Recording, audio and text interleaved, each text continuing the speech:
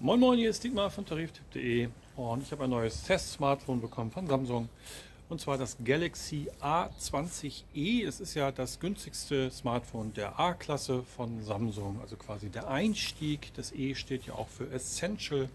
Ich glaube, es kostet mittlerweile so 130 Euro etwa und ähm, ja, ich teste das Smartphone gerade auf Herz und Nieren und wenn ihr mal auf meinem Kanal schaut, findet ihr auch schon diesen vollständigen Testbericht.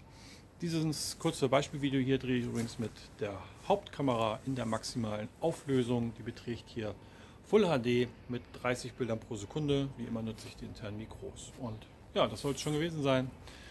Ich grüße euch, wünsche euch schöne Weihnachten. Bis dann. Tschüss.